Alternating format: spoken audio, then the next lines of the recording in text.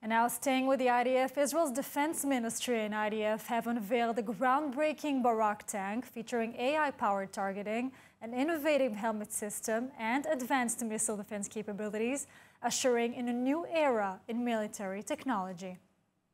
Israel's Defense Ministry and Israel Defense Forces have officially revealed the groundbreaking Barak tank, marking a new era in military technology.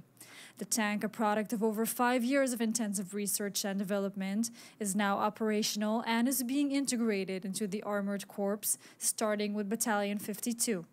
The Barak tank is designed to provide cutting edge capabilities to the IDF. One of its standout features is its AI powered targeting system, allowing it to monitor its surroundings and quickly identify and engage enemy forces before they can pose a threat.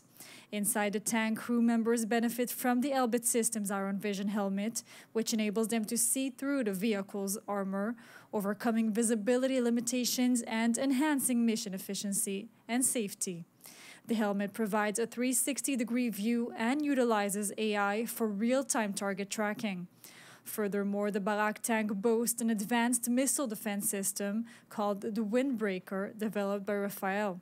The system can detect incoming missiles, predict their trajectories, and deploy countermeasures to protect the tank and its crew.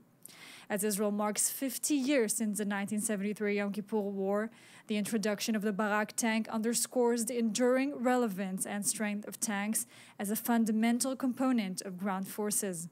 Over time, the Barak tank is expected to replace older Mark III tanks in the IDF, positioning itself as the primary main battle tank for the Armored Corps. For now, these tanks are being used primarily for training purposes as soldiers adapt to this advanced system.